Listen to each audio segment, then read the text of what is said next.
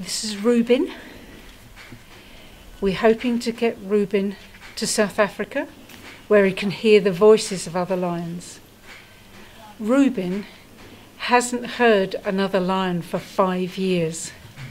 He's the loneliest lion in the world.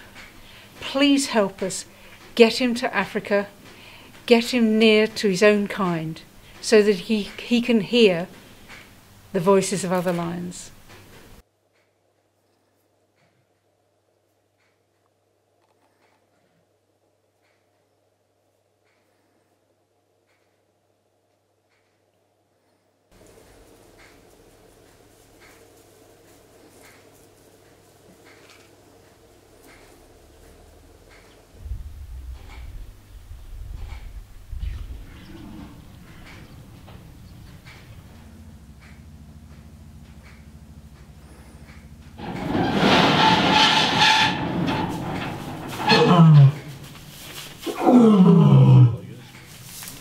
Oh,